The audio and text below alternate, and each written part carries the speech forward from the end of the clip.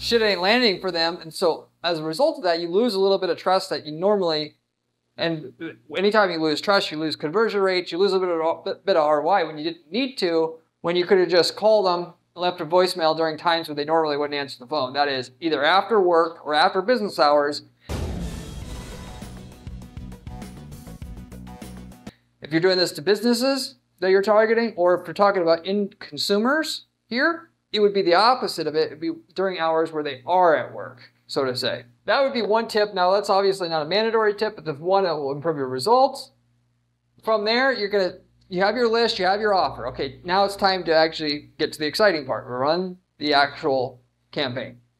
I would recommend starting out testing a thousand names. Thousand names will give you enough of a sample size on the list that you're, where you're getting your name list from to know if you're at least on the right track or not, okay? Of that, you're going to actually drop voicemails at least 10 times in a row for each person. So out of the 1,000 names, you're going to drop the voicemail, you're going to wait a week, you're going to drop it again, you're going to wait a week, you're going to drop it again. And after 10 weeks, you're going to then now do your analysis on how many replies and how many sales you got course, if you're like the golfer, the, uh, the golf example that I gave you before, the, the golf pro shop, you're going to also want to keep track of how many of those customers came in, buy, and then bought again, bought again, bought again, because the lifetime value is also very important. Naturally, the best way you can figure that out is just to ask all your customers as they come through, where did you find them, find us at, and then keep tabs on that person that comes through, and it's worth it to do that at the end of the day. Um, namely, because you can make your campaign more profitable when you know how valuable a campaign is. If you know it's super profitable, then maybe you actually sweeten the offer a little bit to get even more response or whatever. You can make your adjustments. With no data, you can't make any adjustments. With that, and then when you're all said and done with, as it pertains to the math, you're going to do the math. Okay, how much sales revenue did I pull in? And it might be you have to wait a year before the customers come in where you can predict the customers you got you know, are they going to come back in again? How much they really worth? But with that said, if you're going, if you've got something you know can work, you can buy these voicemail drops in bulk. If you buy them at least 10,000 at a time, you can pay one penny per voicemail drop. So you obviously in the uh, example with the golf uh, pro shop, if out of 5,000 voicemail drops, if we get one customer out of it, we're in business with the $500 customer lifetime value because 5,000 drops would mean $50 with the marketing acquisition cost. We're still at a 10 to 1 return at the end of the day, which, by the way, is about what you can expect for a response rate. Out of about 5,000 voicemail drops, you should be able to get one sale out of it. I know it sounds like a low number, but when you're doing cold outreach campaigns, it just takes a lot. It takes a lot of emails, takes a lot of voicemail drops, whatever you're doing. Even with a good offer. That's assuming you have a good offer that's still going to stop people in, in, their tracks and say, wow, I don't normally see an offer like that every day. Uh, that said, putting in this frame of reference here, if you get a 0.02% response rate on your voicemail drops, right, which is 1 in 5,000, your email response rate to the same list should get you about a 0.1% response rate, which is five times as good, roughly speaking, as what you will get from when you get from email specifically when you compare that to voicemail drops. However, here's the crux of the situation. Phone numbers are usually only about 10 cents a, a piece to, to get access through data broker or collecting them manually. Whereas an email is going to be a lot more expensive because emails, personal emails, are harder to get, particularly in the B2B space. Collecting email addresses of business owners or contacts at a business, that can cost you anywhere from a dollar a name, if not upwards of like $5 a name for just one email.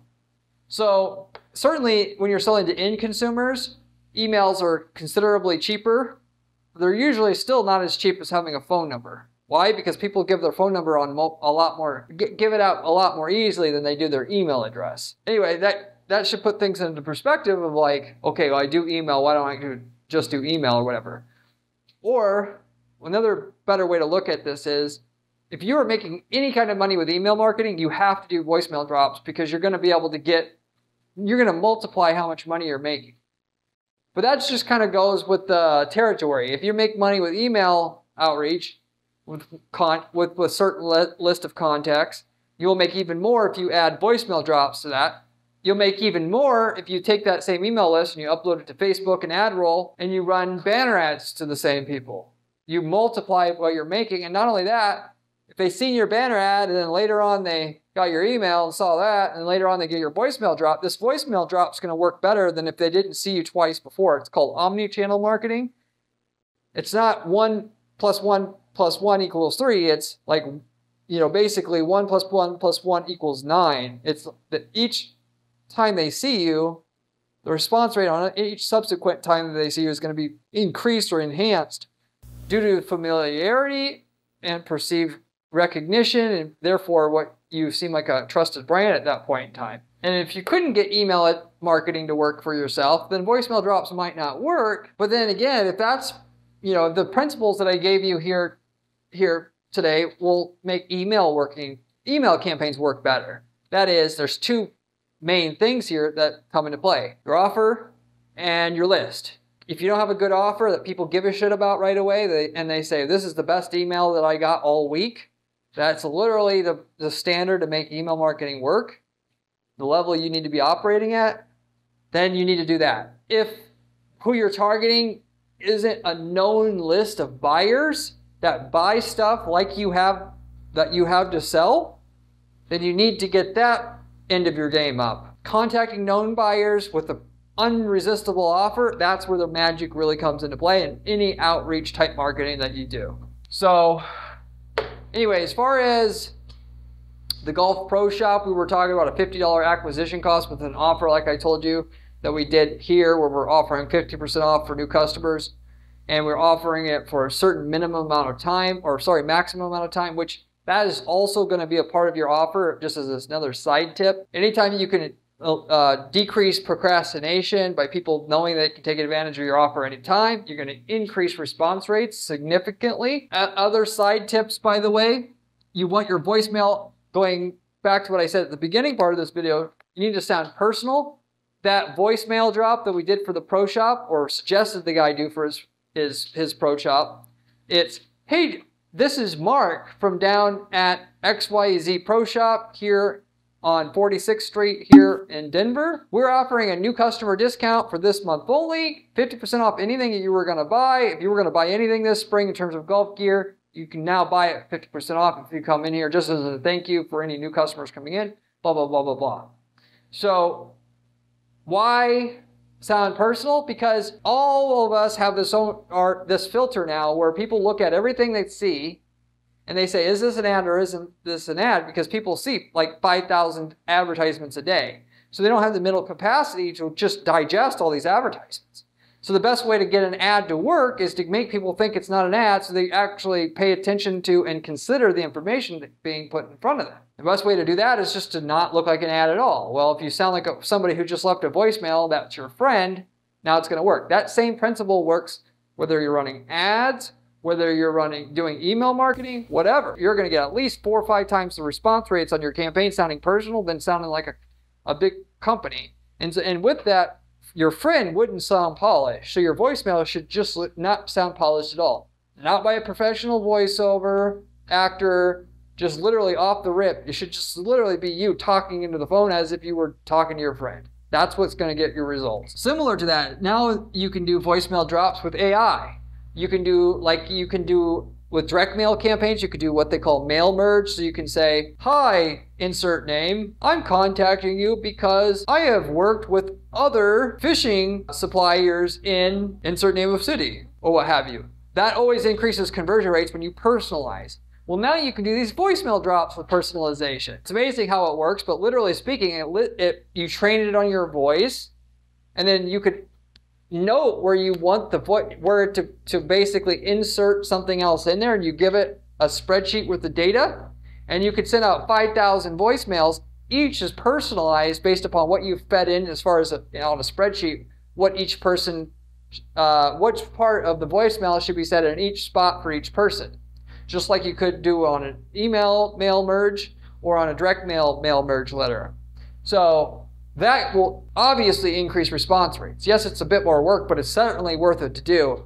And if you get, what I like to do is keep things simple at the beginning. Do, do your voicemail drop, See if you get anywhere even close to the numbers you need to be profitable. And then once you are, now start investing time in getting the AI going because you know that's going to probably double your response, if not triple it, right off well, right out the gate. But you don't need to do this right up front to know the the test that you have. You know, to know if you've got some viability in your offer and your list that you've got itself up front. If you follow. Finally, if you're doing con if you're doing B2B sales targeting businesses, this is only going to basically work well if you're targeting businesses with 50 employees or less. 100 or less if you really stretch it. Why? Because the company becomes so big, person answering the voicemail don't give a rat's ass whether or not your message gets onto the person who actually makes the decision on to move on whatever it is that you're buying or selling at the end of the day. So we've got, you know, we've contacted, you know, law offices and supplement suppliers and all this other stuff that have 75 employees and we'll get response right back at our advertising agency doing voicemail drops mentioning that we've got experience in their area therefore they should contact me the owner of the company which is it's all obviously true we're doing that we're not just bullshitting here but you know and instead of calling everybody manually you just make a list okay well everybody in the industry that we know that we know where we got experience, we should contact them. Naturally, uh, we've got those response from that side of the company, but we've never, as far as I still remember, gotten a response from somebody with 500 employees that way. So if you were targeting bigger companies, unfortunately, this isn't a golden ticket for you. And, you know, that's just the way that it is.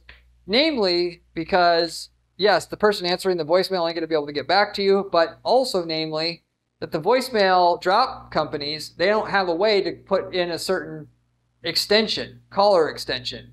And also you don't know the caller extension of the person at the company.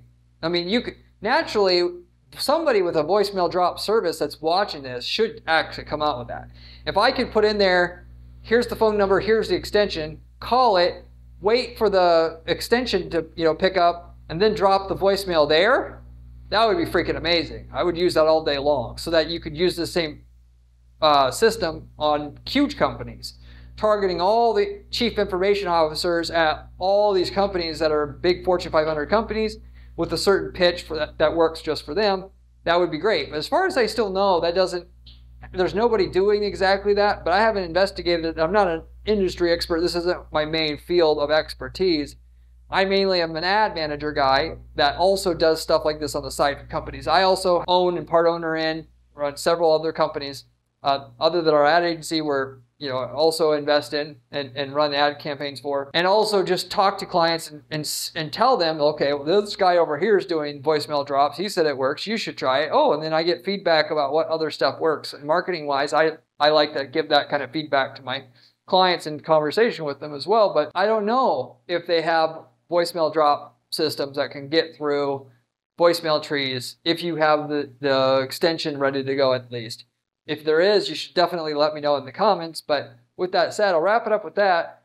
If you have any questions, leave me a comment below. I get back to every single person who leaves me a question or comment on this channel, usually within 24 hours time. You can ask me any ad related question you'd like. I'm more than happy to use my 15 years of ad experience to put you on the right track with what you're doing as best as I can, just as a thank you for watching the channel and helping the channel grow. If you are looking for information that's going to legitimately help you make millions of dollars running ads for your business, this is the channel you want to subscribe to out of all the channels that are there here on YouTube to subscribe to, as it's coming, the information that I'm presenting to you comes directly from the source. I manage specifically dozens of ad accounts for clients that here at our ad, ad agency at, at any given time. It's my full-time 40-hour a week job.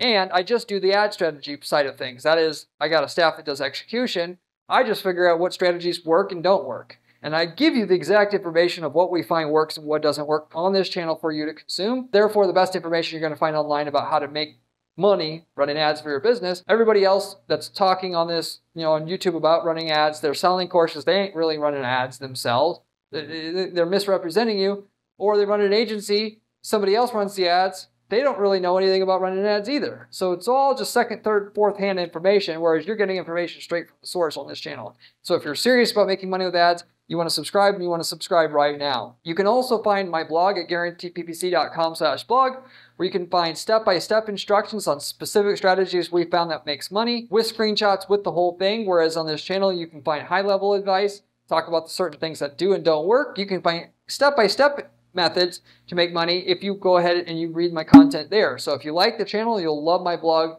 in addition, and you'll probably certainly like it even more. I run an agency here. The name of it, of course, is Guaranteed PPC. The reason why we call it Guaranteed PPC is because we guarantee our clients results up front. That is, if our clients don't make more money after working with us up front, we do not charge a fee.